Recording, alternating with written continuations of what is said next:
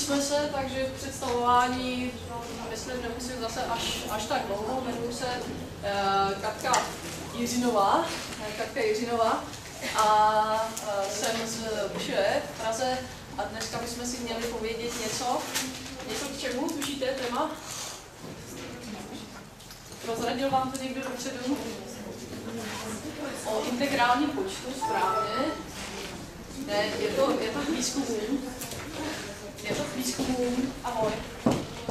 S tím, že výborně počítač funguje. Měli bychom si říct něco o etnografii, takže hned za chviličku se k tomu dostaneme. Tak, takže začneme. Eh, já se zeptám, je to aspoň trošičku viditelný? Jo? Dá se zhasnout? Máme zhasnout? Je to lepší? Ne? Co? Takhle řekněte si. Řekněte si. Jo?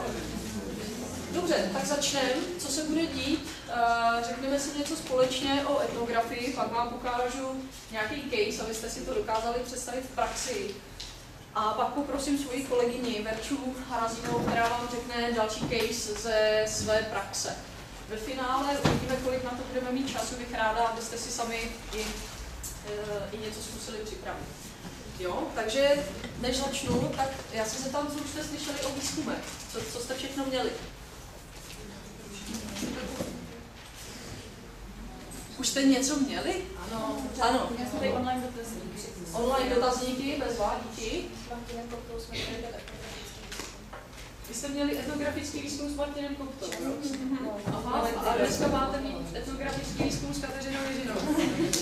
Bezma. Etnografický výzkum jedna a teď etnografický výzkum dvě. Aha. A To potom nikdo.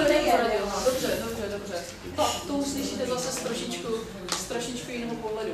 Ještě něco zásadního jste slyšeli? Jsme měli celý předmět. Vy jste měli celý předmět. No, tak tímto bych se rozloučila.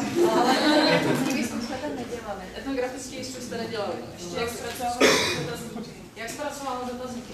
Dobře, dobře. Tak uvidíme, já doufám, že vás to nebude nudit a že vám to třeba bude k něčemu, k něčemu dobrý. Tak, když už jsme něco měli, tak eh, výzkumy kvantitativní, kvalitativní. Jaký je mezi tím rozdíl? Nám jde Počtu, aha. Dobře, ještě, ještě nějaký Jako kvantitativní máme předem dané hypotézy, to je to v kvali- kvalitativní se potom až eh, vytváří v průběhu výzkumu třeba. V průběhu výzkumu kvalitativního, dobře. Už bez jiné výzkumné metody. Jiné výzkumné metody, dobře, jaké? Třeba pozorování kvalitativního. Aha. Nebo fokus grupy kvality. Fokus průběhu kvality, dobře. Nebo studium dokumentů. Studium dokumentů kvantitativního. Kvalitativního? Jo? Dobře. Tak jo, takže vnímáme, že tady, že tady je nějaká skupina nástrojů pro kvalitativní výzkum a pro kvantitativní a tušíme asi nějak podvědomě, že tyhle ty dvě skupiny uh, jsou, řekněme, rozdílné a používají se k vlastně jiným účelům, jo? ale to už bylo pořád řečeno, takže ne, nebudu, nebudu jít do hloubky.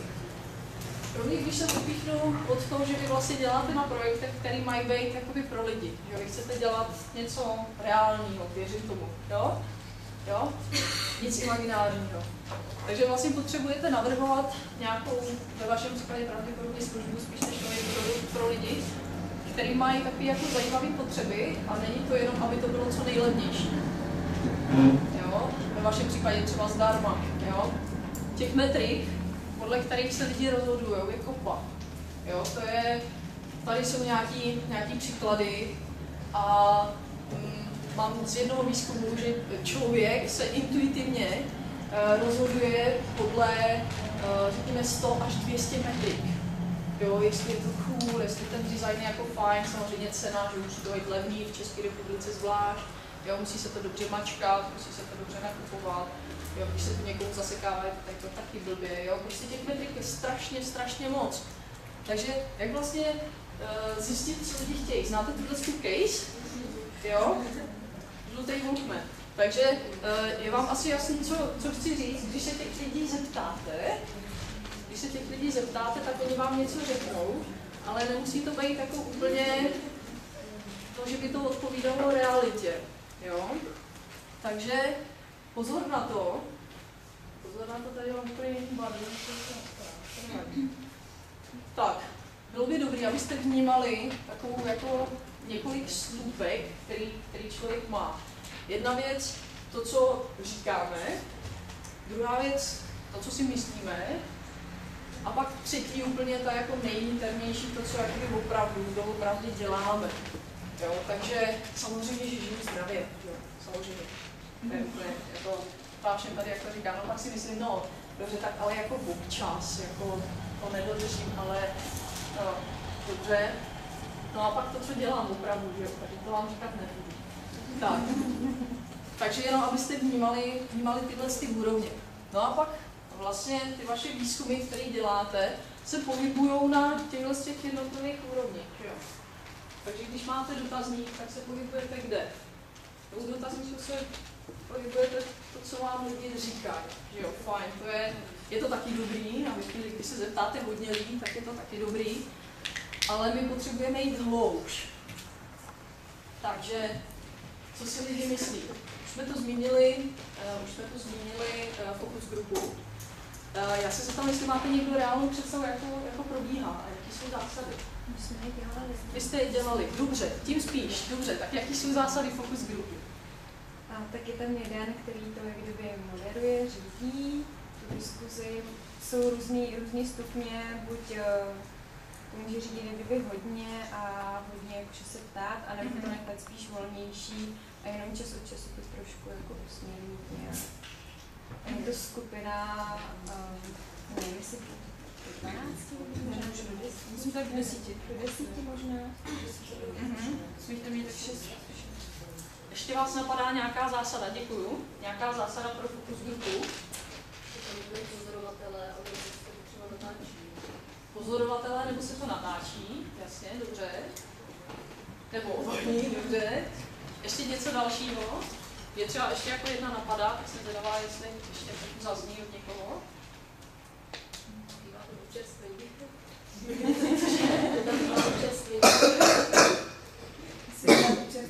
Občerstvení. Občerstvení. Dobře, to jsem neměla úplně jak na mysli. A musíme si dávat pozor, protože ty lidi jsou stále náchylní k nějakému stárnímu myšlení a ve chvíli, kdy jeden z nich prohlásí, ten produkt je úplně k ničemu, tak ty ostatní jakoby se k němu přilonou a řeknou, no, jako opravdu není tak dobré, i když si myslím něco jiného. Takže je tam podstatná role, podstatná role toho moderátora, dobře. Ta zásada, kterou mám na mysli já, je, že pokud děláte fokus grupu na testování nového produktu, tak tam ten produkt musí být fyzicky přítomný. Jo? Obdobně služba, pokud máte eh, jakoukoliv jakoby, příležitost, jak to dostat jakoby, přímo k těm lidem, tak to tam musí být přítomný, jo? aby vyloženě věděli, o čem se bavíte. Jo? Takže tam jako jdete trošku víc do hloubky a už se dostáváte na tu úroveň, co si ty lidi jakoby myslí, jo, na základě analýzy, kterou obvykle zpracovává ten moderátor, tak se, jste schopni přesunout se jakoby na tuhle úroveň. Ale pořád to ještě jakoby není ono. Jo. Ty lidi nejsou ve svém přirozeném prostředí. Obvykle to probíhá tak, že ta firma si prostě natáhne lidi jakoby k sobě do firmy, kde je něco, co je podobné jako nějaká výslechovka, Jo, tady ten prostě moderátor se s těma lidma baví, jo, a pak někdo další jakoby kouká přes sklo a v lepším případě poslouchá, v tom horším kecají si sebou, co bylo jako včera, jaký byl fotbal a tak. Jo, takže to jsme, to jsme u druhé úrovně, co si lidi myslí. Jo. Ale pokud se chceme podívat na to, co dělají, opravdu dělají, tak musíme jít prostě blíž těm lidem.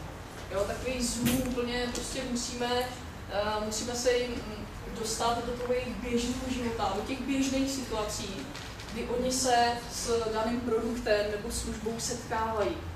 Jo? Je to podstatné, že je to v tom přirozeném prostředí. A to je právě úkol pro etnografii. Tak, kudy na to? Tady je několik metod, vy jste už nějaký, nějaký říkali. Toho pozorování, který tam mám uvedený jako první. Dělali jste to někdy? Jako fakticky, že byste prostě šli a prostě koukali se na lidi, jak jako se chovají v knihovně ve vašem případě. Jo, jako všichni to znáte jako metodu. Jo, jo, lidi se pozorují a tím jako se dostaneme k těm insightům, jak se chovají.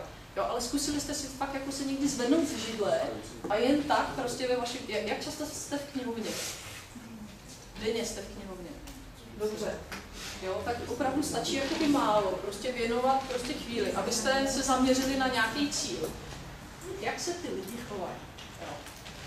S tím, že u toho pozorování teda, tam je, um, jde to ještě jakoby rozlišovat, jestli pozorujete a jste tak říkajíc jakoby schovaný v davu, jo, a nikdo vlastně ani neví, že děláte průzku. Jo, v tu chvíli se ty lidi chovají spontánně, baví se mezi sebou a vy tak jako z dálky, z dálky přiblížíte. To má svůj výhodu, že, jo, že vlastně ty data nejsou zkreslený. Jo, vy tam jenom jako jste a ten člověk jako o vás, o vás vůbec neví. No, pak jsou ale ještě pozorování, které to takhle jako by úplně, úplně nejde. Jo, kdybyste chtěli třeba vědět, jak si ten člověk eh, zachází třeba se čtečkou, ale doma. Tak představa, že někomu zaklepu na dveře a řeknu, já se tady jenom jako bych tu nebyla. Jo, to se asi jako, to se neschováte u někoho v obyváku, jo? takže pak jsou jakoby pozorování, kdy ten dotyčný ví, že je, že je pozorovaný a v tu chvíli chvíli už ten výstup může být takový trošičku zkreslený. Jo, že začne dělat třeba věci, které normálně nedělá. Ale na druhou stranu vy se dostanete k informacím, které uh, můžou být obsáhlejší. Jo, když se třeba na začátku domluvíte, že chcete, aby ten člověk se zaměřil na to, uh, jak třeba některé věci vyhledává, jo, pak jak normálně pracuje třeba s literaturou, jo, prostě mu předepíšete Eh, předepíšete nějaký scénáře a to už se, to už se přesuneme k té druhé odrážce. To jsou jakoby cílené úkoly. Jo, vy si připravíte scénář, co chcete, aby ten člověk jakoby udělal a pak se na něj díváte, jak on tím vlastně scénářem jakoby prochází. Jo? Zní to logicky? Jo? Kdybych říkala jako nějaký blbosti, nebo jste si mysleli, že říkám blbost, tak je určitě jako nějak eh, stopněte, jo? A ještě to rozebereme Tak, pak tady mám třetí takovou zvýrazněnou metodu, to jsou, to jsou deníčky. Užil to někdo někdy? Teď nemyslím jako milý deníčku. Dnes jsem poprvé, jo, to ne, jo. Myslím, že ne, myslím, že na škole to vlastně použil a to Lorenz na Jo. Udělali, aby jsme takže vy přímo jste byli v té roli a vyplňovali. Jo? Jo? A jak, jaký to bylo? Co? Cože ty si vzpomenout, co jsme ten den dělali. že ten den byl tak nabitý, že se nakonec jsme to dělali vždycky ve skupině a vzpomínali dohromady. Vzpomínali dohromady. Dobře, no ale máte teda zkušenost jakoby z té druhé strany, z pozice výzkumníka, samozřejmě je to jakoby trošinku jiný, vy vlastně potřebujete za A si rozhodnout, jakoby, co ty lidi mají sledovat, jo? aby oni vám tam pak jako nepsali blbosti, že dneska jsme měli picovou kaši, to bylo jako slabý, jo? a vás tyhle věci vůbec nezajímají. Takže jim jakoby musíte říct, na co se mají zaměřit. A pak samozřejmě taky jakoby na formu, jestli je to prostě papírový sešit, nebo jestli to ty lidi píšou na blog, nebo jestli prostě to fotí někde jakoby mobilem a tak dále. Tak dále. Jo? Takže to je ta třetí zvýrazněná metoda. Jo. Dobrý. Tak, a jsou ještě další metody, jako například analýza videa. Jo, vy když si nahrajete, eh, nahrajete uh, lidi v, ne, třeba v obchodech, jsou knihovně kamery? Bezpečnost. Nejsou. Vchodově určitě. A super. Jo, tam jako u těch videí trošku bacha na takový ty jakoby osobní údaje, vy asi nesmíte lidi nahrávat, jako videa používat to pak nějak jako, jo, musí být asi nějak aspoň trošku informovat, nevíš o tom Verču něco trošku víc? No, vím. Uh, jo. Vy musíte minimálně ty lidi upozornit na to místo, kde ta kamera, že tam je, ale nesmíte ty lidi samozřejmě a jejich záběry potom používat nějak v rámci médií a podobně. Museli byste s nimi podepisovat souhlas se zákonem 101 tam je dokonce problém, řešilo se, že chodí nějaký týpek a krade v knihovnách a a oni ho nové mají natočeného na té kameře, ale, ale nesmí to zveřejnit a nesmí to použít na, na uh, takže to chodí interně teda jako zaměstnancům knihovny, když, když ho vidí, tak bach, bacha a mají Takže pro internet potřeba. Ale je to řešený, když třeba máš ty bankovní rupiče a tam jsou taky přece usvíceně a normálně. Tak ale to už poskytuje policie České republiky, protože jestli, že máte záznamy fotku rupiče, tak ho nesmíte, to je třeba v samoobsluhách, že vyfotí, nebo daří se vyfotí, tam mají známé firmy, a pověsí to na nástěnku, nicméně mají potom problém, že to se opravdu nemůže. Takže ty snímky, o kterých mluvíte, poskytuje policie České republiky a ne banka samotná. Já bych tady jako možná jenom to, co chci, abyste si z toho mysleli, že analýza videa je fajn, a ta druhá stránka mince je pak, abyste si jako nenaběhli. Jo? Když prostě budete hodně podívat s kamerkou, jo, tak a narazíte pak na blbce nějakýho, který tak jenom jak bacha na to. Další, uh, další metoda, která s, uh, s etnografií souvisí a je, taková trošku specifická, je safari. Vy vlastně vy sami, jako výzkumníci, si vyzkoušíte prostě uh, tu vaší službu, váš produkt, prostě vy sami na vlastní kůži. Jo? Což samozřejmě je zkreslený tím, že vy jste ten výzkumník a jakoby tak říkajíc, víte, já přece vím, co nabízí, že já vím, jak to funguje. Ale pak, když jste prostě v tom prostředí a i jako vy sami, jenom tím, že vy sami prostě projdete to, co budete chtít po těch lidech, jo, tak objevíte spoustu mezer, Verča to možná bude ještě když trošku, bude prostor, tak můžu. když bude prostor. Dobře. Tak, co vlastně z toho? No, lidi některé věci dělají mimo děk. Ani o tom neví. Jo, takže já možná mimo něj dělám tohle, nevím, pak si sami nalezíte video. Jo, aha. A kdybyste se jich ale zeptali, jo, tak oni vám prostě to nejsou schopní říct. Jo, takže vy tím, že jdete k ním až takhle blízko, tak jste schopni zanalizovat to, to jejich chování právě o, o tyhle ty aspekty, které oni vlastně vědomě, vědomě netuší. Tak, na co si dát pozor? Tak, pokud chcete dělat pozorování, který není zkreslen tím, že jako je jasný, že jste výzkumník, tak hlavně nenápadně, že jo. No, to je jako pěkné pravidlo, ale posuneme se dál. Ehm, někam se s těma lidma jako fakt nedostanete. Jo? Kdybyste chtěli třeba testovat použitelnost toalet jenom na a jako tvářili jste se nenápadně, tak vám to moc nepomůže. Jo? Někam se s těma lidma zkrátka nedostanete, a pak prostě musíte zvolit jinou metodu. Jo? To občas, občas se stane. Tak, eh, pokud byste eh, procházeli, nebo pokud byste těm vašim účastníkům výzkumu eh, předkládali scénáře, které, které mají vlastně absolvovat a případně se jich taky doptávali ještě na nějaké otázky, tak ty otázky musí být otevřené a nesmí být návodní. Jo? Když se zeptáte, Mm, taky si myslíte, že eh, tahle aplikace je naprosto nepoužitelná? Jo, něco, něco špatně. Jo? Takže ty otázky by eh, měly být kladeny neutrálně.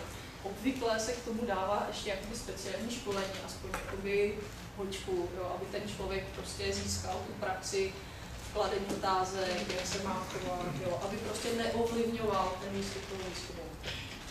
Tak, ještě tu mám něco, jo, neříkat svůj vlastní názor, jo, to je, to je asi jasný. Jo, neradit, jo. Když chcete, aby ten člověk prošel, uh, prošel um, určitý scénář a někdy jakoby narazí a neví, jak dál. Jo, tak ho nechte jakoby chviličku, ať neví a ať jakoby zkouší, ona to třeba možná přijde, anebo možná nepřijde. Jo, to je právě to, že vy vlastně tímhle svým způsobem můžete odhalit, jestli teda, jo, je to zádrhel, ale není to tak vážný, oni to, to lidi nakonec stejně jak vydají. Nebo ne. Tak. Jo, postupná změna chování. Pokud budete lidi pozorovat, oni to ví, že jako pozorujete, třeba pokud si vede, vedete jako deníčky, jo, to určitě jako ten člověk jo. A pokud to budete dělat dlouhodobě, tak ti lidi na základě toho, že si budou zaznamenávat ty údaje, začnou svoje chování měnit. Jo, ve chvíli, kdy prostě zjistí, že třeba do knihovny chodí jenom, já nevím, jednou za týden a přitom třeba mají někde ve studijním nějakým řádu třeba napsanou, že by tam měli trávit aspoň pět hodin nebo něco takového, tak oni to docvakne a začnou se chovat jinak. Jo, takže eh, máte vy nějak jako předesáno, kolik času byste měli strávit v knihovně? Nemáte? Kolik času trávíte v knihovně? Průměrně? Jo, pracujete, jo, takže full time. Jo, ale spíš, spíš mi šlo jenom jakoby o to, že prostě ten člověk může, může zkrátka měnit, měnit svoje chování, tak abyste to, abyste to věděli.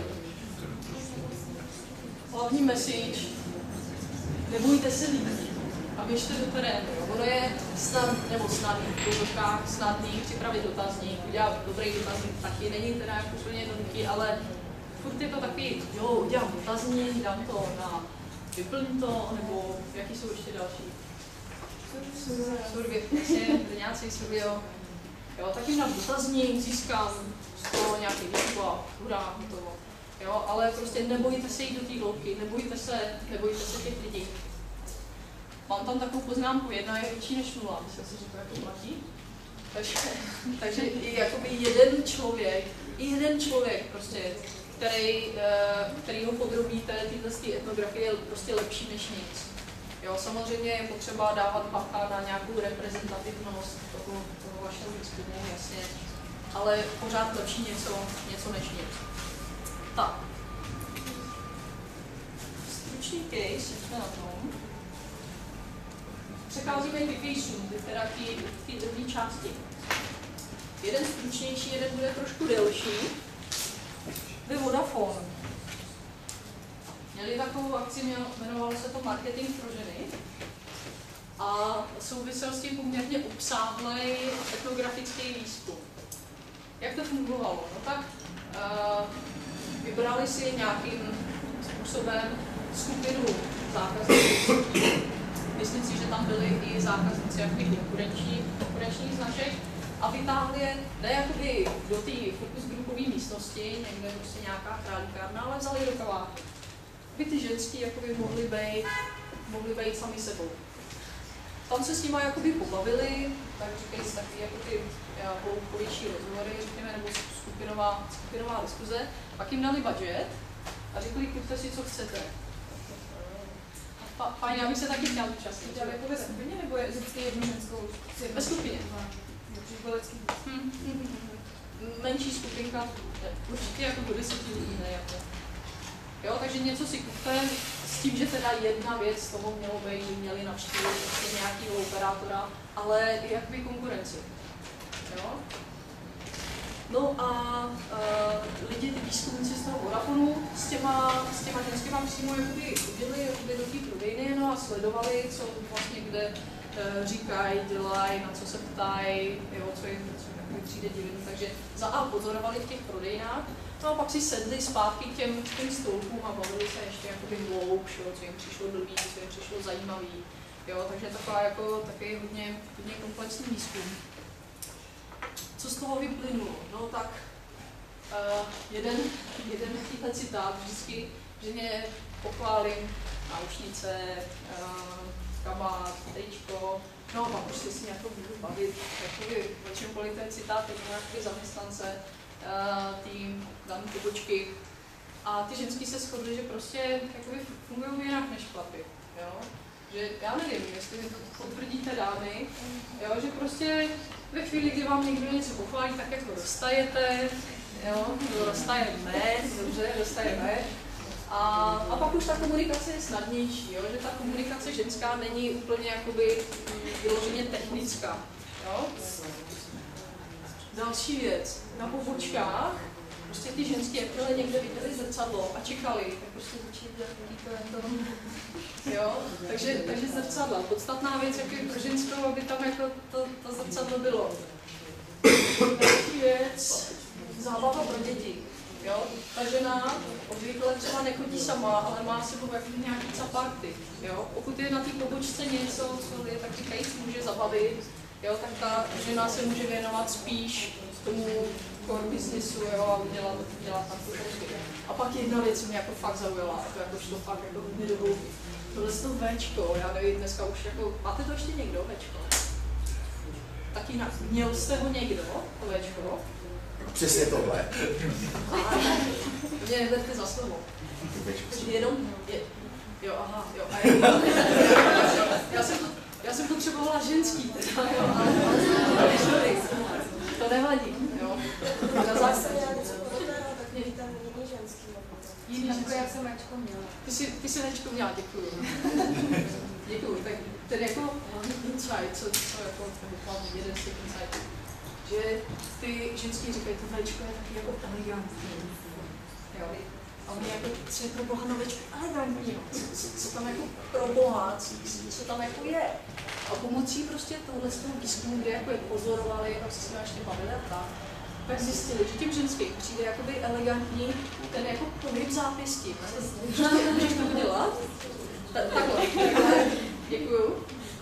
Ten pohyb tím zápěstím, kdy vlastně jako zápěstí je braný jako taková, řekněme, intimní zóna, a, a ženský tímhle s tím jako eh, na to svoje zápěstí upozorňují, jo, taky kdo nosíte třeba náramky, že to je úplně, úplně ten samý princip, jo, takže že to jakoby bylo o tom pohybu, jo, a na základě tohohle z toho výzkumu pak Vodafone připravil speciálně jakoby řadu, eh, kde teda byly i Včka, jo, byla barevná, bleskavá a tak dále, je to asi, asi jako tři roky starý, možná si vzpomenete. Jo, takže na základě uh, té etnografie a dalších jakoby doplňkových rozhovorů docela, docela zajímavé insighty, úplně nová řada, eh, která byla doplněná i tarifama a mělo to, myslím si, že to mělo jako úspěch. Tak, to je jeden case. Tak, další. Optiskont. Já se zeptám, kdo znáte? Dobře, jeden, dva, tři. Tak jo, tak já se, já se zeptám ale těch, co to neznají. Těch, co to neznají. Na co tohle spoje? Vidíte to aspoň trošku?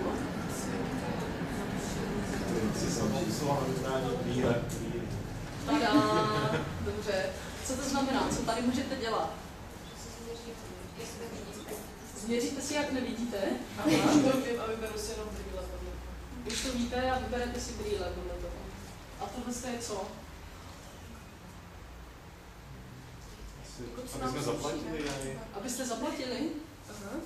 Nějaký další typy? Tím se budu zadávat ty parametry, ne? Ty vole. Ty jsi to slyšela, ty aby jsme se viděli. Kamera, abyste se viděli, je zajímavý. Já to optiskont vyřídím. ne, optiskont je vlastně uh, takový samoobslužný, samoobslužný kiosek, který neslouží k tomu, abyste si, uh, abyste si změřili, nějak to ne, ale vy už tam přijdete s receptem a na základě toho receptu si vyberete braille z téhle nabídky. Tohle je objednávkový terminál, kam prostě zadáte toho vašeho recepisu, že máte mít 5,5 dioptrie na levým a ještě nějaký cylindr a jestli chcete tenčí ty, ty, ty čočky, jo, a tak dále, a tak dále. Prostě tady je jakoby objednávková aplikace. Jo.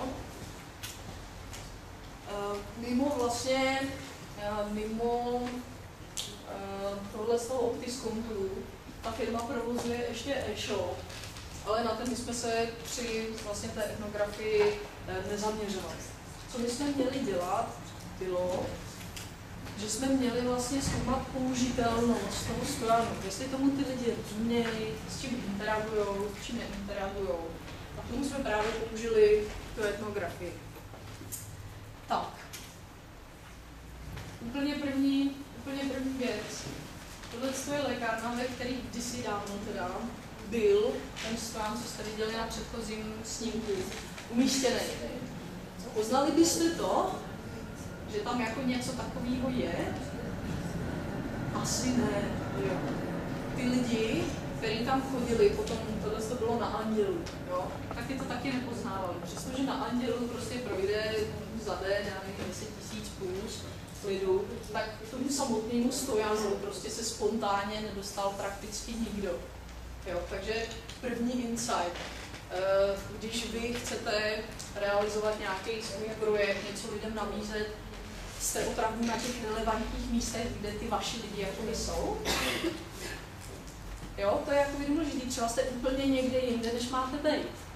Jo, než vás ten váš člověk, ten váš zákazník očekává a kde je jakoby připravený se s vámi bavit. Jo? Takže tohle to byl první hlavní, první hlavní insight. Tak, uh, když vezmeme, jak řekněme to dopadlo, jo, tak první dojem, první dojem u Optiskontu ty lidi vlastně vůbec nepoznali, k čemu to slouží. Ne, že se tam jako nedostali, ale když už jsme tam nějaký lidi jakoby přitáhli a chtěli jsme, aby procházeli mm, daným scénářem, tak vlastně vůbec nepoznali, k čemu to slouží. Jo, takže uh, vůbec třeba nepoznali, že ten terminál je dotykový. Jo, prostě, prostě nepoznali. Uh, nabídka Braille je sice, sice zaujala, nicméně, kdyby si chtěli koupit Braille, tak vzhledem k tomu, že to bylo v lékárně, ten stojan, tak oni by ty Braille jakoby vzali a šli k pokladně zaplatit. To ne, takhle to by nemělo fungovat, že? Oni si to měli přes tu objednávku aplikaci na aplikaci koupit přímo. Jo? Takže prostě lidi, když už se tam dostali, tak to nepochopili, jo? jako o co go. My jsme v rámci výzkumu udělali persony, o těch jste už asi slyšeli? Slyšeli jste o personách? Slyšeli? Jo? Jo, jo. Nějaký archetypy těch vašich zákazníků, uživatelů. Jo? Takže tohle to bychom udělali taky, já nebudu teda zacházet do detailu, jak persona vypadá, jak, co všechno tam má být, co tam, co tam nemá být. A aby jsme to rozkryli, tak jsme si vytvořili tři takové hlavní persony. Tady je paní Stylová, ještě jsme měli uh, nějakýho pana Nováka, takový ten jako úplně, úplně běžný, uh, běžný člověk, který by jako možná mohl s tímhle s tím mít co dočinit, myslím, jako s optiskuntem. A pak lidi, kteří by ho optiskum vůbec jakoby ani, ani nezavadili, protože pro ně prostě nebyl, nebyl relevantní. Tak, tady je jako některý z výsledků, abyste si dokázali představit. Jo? Byl se ten kiosek, který byl na Etheru a na něm z boku byla nabídka čuček. Jo? Tady máte, to jsou čučky, které jsou různým způsobem stenčený, nebo jsou hnědý, nebo samozabarvovací. Bylo to na boku a ty lidi si to vůbec nevšimli. To znamená, ten prvek absolutně zbytečný na tomhle prostě. Lidi s tím prostě vůbec, vůbec, vůbec neinteragovali. Další věc, tohle je první okno, ty objednávkové aplikace. Jo? Jako první krok lidi měli zadat nějaký kód na braille. Jo? Tak jo, tak lidi vzali braille z toho stojanu, našli tam jako nějaký kód a ten popsali, dali pokračovat a tohle se vůbec nečetli. Vůbec. Jo? Takže i když, i když vlastně vy byste předpokládali, že řeknete, no já jim tady přeci říkám, co budou potřebovat pro nákup, že třeba budou potřebovat recept. Oni si to přečtou, že jo? Nebo jak to funguje, já jim to tady vysvětlím, oni si to přečtou a pak teda projdou tu aplikaci. Neudělají to, nebo prostě neudělali. Zadají pokračovat a tohle to prostě absolutně jako mimo, zbytečný. Tak, další věc. Tohle je teda ten OptiScont dostalo, asi vidíme.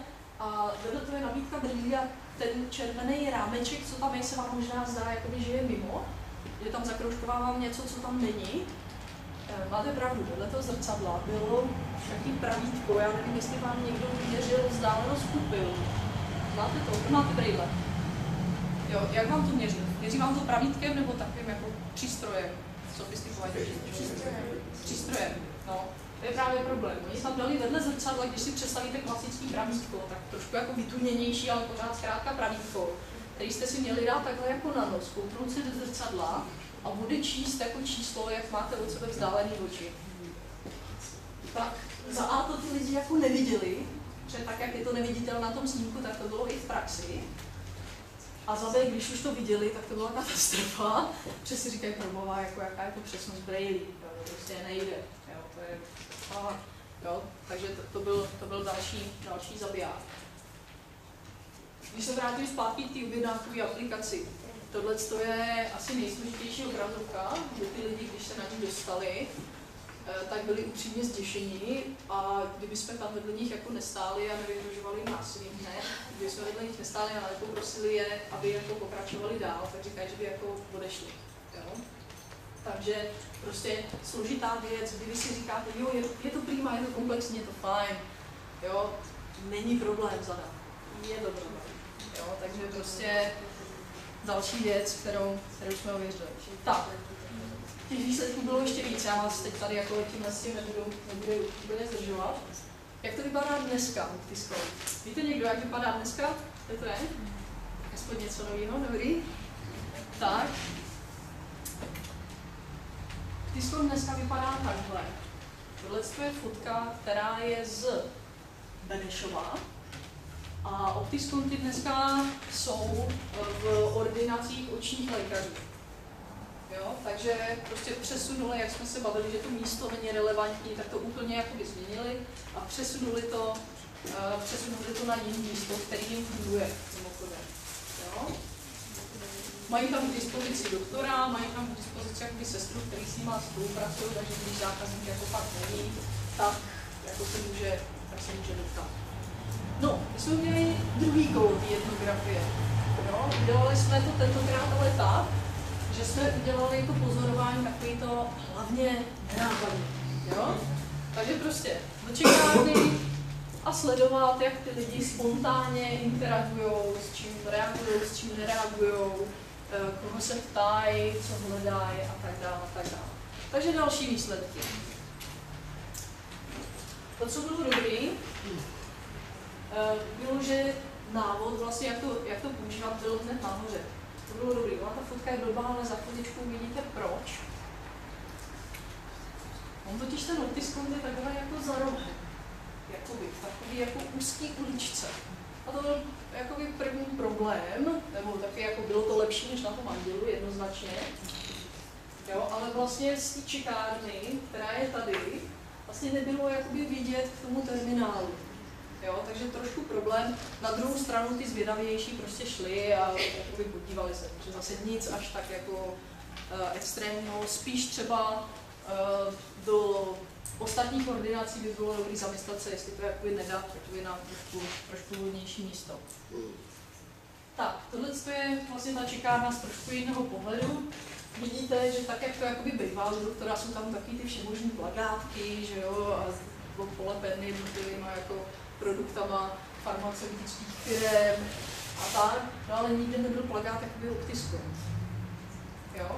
My jsme třeba zjistili, že ty lidi, že jo, ty, ty sedí v té čekárně a sedí tam třeba půl hodiny a vyloženě jako nemají do čeho píchnout. Jo? A rejdí těma očima, jo, čeho by se tak jako chytli, co zajímavého by si přečetli.